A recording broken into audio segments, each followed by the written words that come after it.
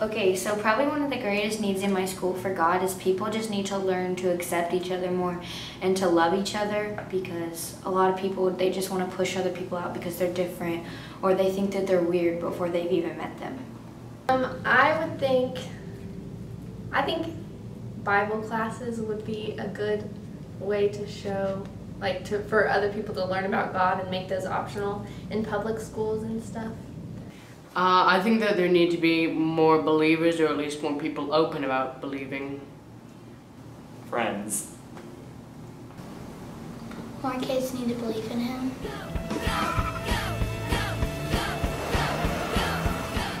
I can be nice to everybody. Anti-bullying. Just being kind to everyone and like maybe inviting some people to church because we're called we're called hypocrites because we don't act upon what we believe and so the only way to show Jesus' love is by acting like a Christian all the time, not just at church. More kids come to FCA. Well, there's going to be a lot of new kids, so I can be their friend. Praying. By not hating people.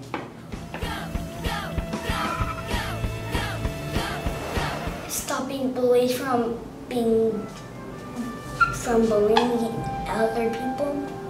That everyone has a safe school year and no one gets hurt in football. That people don't judge other people just because how they look. That they can actually be really nice. Give them a chance. I hope that more people are Christians than my last school. Well, they took out they took out praying before games. You're not allowed to do that.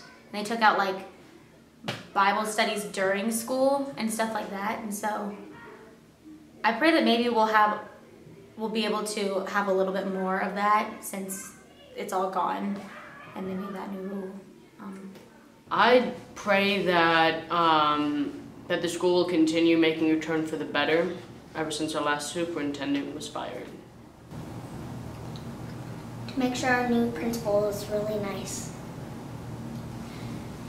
Well, um, I prayed that maybe we could have some new books because I love books.